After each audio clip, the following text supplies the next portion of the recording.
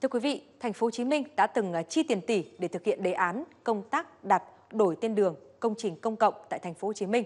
Tuy nhiên khi đề án hoàn thành thì không được triển khai thực hiện. Trong khi đó thì hàng nghìn tên đường đặt tạm và viết sai thì vẫn đang hiện diện.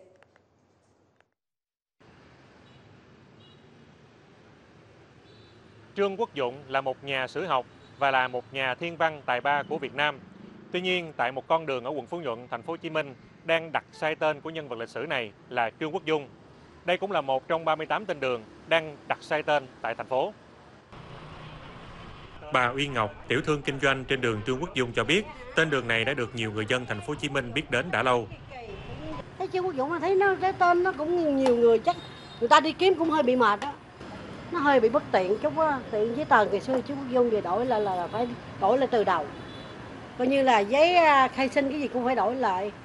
Phải không? Học khẩu cũng phải đổi lại luôn. trong tên của những con đường bị sai á, thì em nghĩ là có thể mình nghĩ là có thể ờ, đổi thành những cái, ờ, danh nhân có tầm quan trọng đối với lịch sử nước nhà để, để giống như nâng tầm hiểu biết về lịch sử của người dân Việt Nam hơn.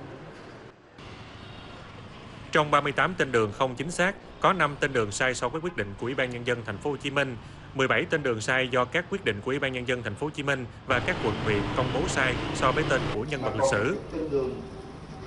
là tên các nhân vật thị, lịch sử tên đường mà các nhân vật lịch sử thì nó theo phương ngữ là theo ờ, theo theo ờ, từ địa phương và nó bị ờ, gọi là huyết kỵ cho nên là nhóm thứ ba là có 16 tên đường thì phạm vô các cái cái tên đường việc thay đổi tên đường á, thì phải theo đúng quy định và điều quan trọng như anh Hải nhắc tới đó là hạn chế mức thấp nhất ảnh hưởng đến đời sống của người dân Các chuyên gia người dân cũng đề xuất nên lắp thêm mã QR code trên biển tên đường để người dân thuận tiện tra cứu thông tin lịch sử nhân vật thay vì đổi tên.